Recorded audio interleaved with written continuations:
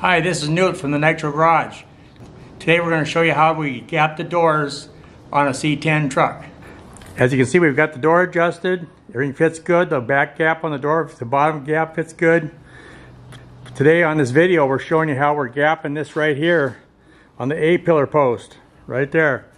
I take a cut-off wheel with a 132nd 3-inch blade, and I cut the A-pillar post right across here along this edge. Right like that up to the top.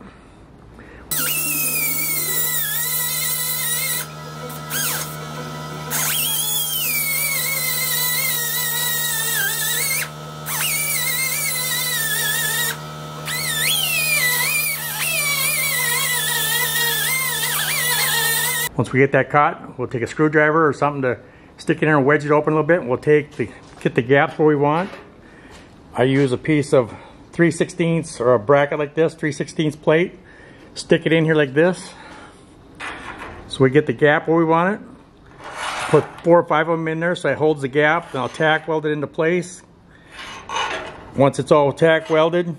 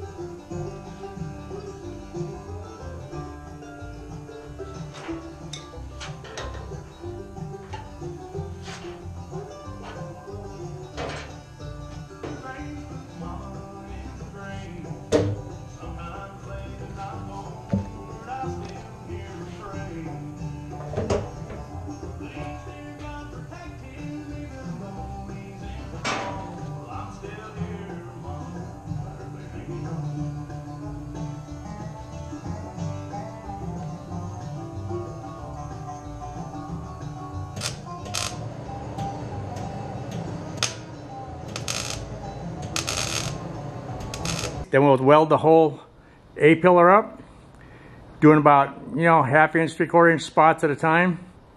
And then once we get done welding, we'll cool it off between each each time, jump around there, about four or five inches between so it doesn't overheat the panel.